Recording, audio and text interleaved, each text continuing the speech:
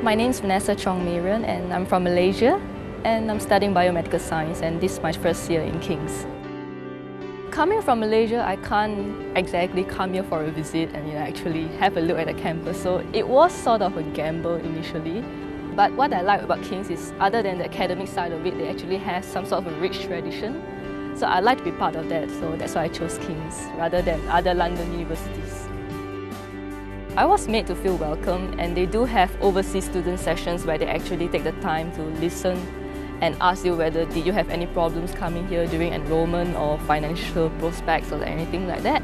Most people they go for you know the nightlife actually for clubbing but I'm not really a clubbing kind of person but even so I, I still like living in London for this in the sense that everywhere is actually very accessible. You can just hop onto the bus or the tube and you can get anywhere you like.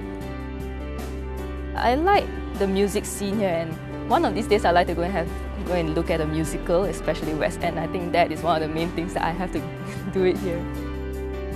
I like to do graduate studies, that's for sure, because I like to go into research and probably do PhD or so. And King's is definitely supporting that because it helps me to focus on exactly what I'm interested in and we get to choose